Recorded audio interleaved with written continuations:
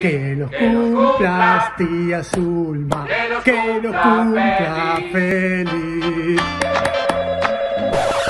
Espera, tía, a ver, no cortes el Zoom que todavía le queda media hora, ¿eh? Hola. Hola, ¿con Fernando Carlos? Hola, Susana. No, el primo, Roberto Carlos. El más grande defensor de historia del fútbol brasileño. Roberto, querido, era fan tuyo, te ponía en la Play 1 todos los partidos ahí de delantero. Tenía todo tu disco. El que no tener un millón de amigos y encima Pochi poder cantar. Qué burro que sos, capocha. Te estás mezclando los Roberto Carlos, el cantante, con el lateral.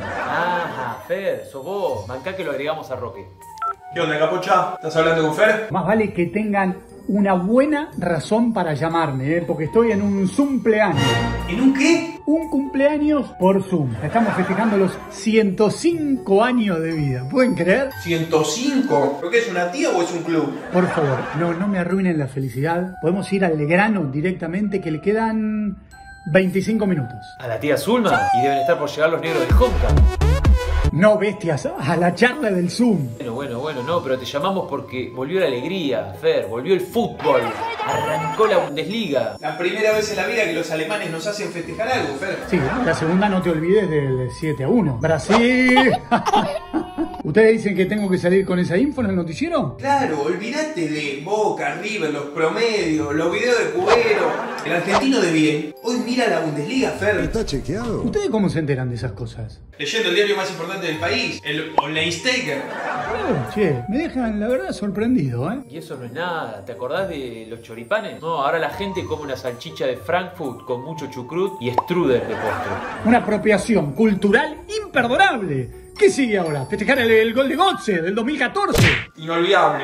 ¿O diciendo que el rodillazo de Neuer a Higuaín no fue penal? Todo pelota. A este ritmo vamos a terminar viendo programas de debate de la Bundesliga en alemán. Te digo que no se les entiende mucho, pero está bastante divertido. Putean más que pagan. Salvo por uno que conducen dos periodistas, ¿cómo se llama? Claro, el de Germán Podolski y Fernández Charles. Bueno, el fútbol tenis. Había uno que tiraba la patada descendente. Esa idea me suena conocida, ¿eh? Ustedes no me estarán choreando, ¿no? No te enrosqué, Fer. Lo importante es concentrarte en la info para la próxima fecha. Tenés que memorizarte un montón de cosas. Pero ¿cómo me memorizo 18 planteles de alemanes? Y yo arrancaría por bajarme Duolingo. Con esa app aprendés los idiomas al toque. Sí, y bajándome un chop de litro en Oktoberfest. Es que no está malo, Fer. Bueno, te dejamos tranqui si vas pensando cosas para el Noti. Muchachos, no me tiró ni un solo dato duro. ¿Con qué información salgo en vivo? Que disfrutes el zumple de la tía Zulma, Fer. Mandale un beso. Auf Wintersachen. Ma, ¿me haces otro panchito? Qué impresentables que son estos pibes, por favor.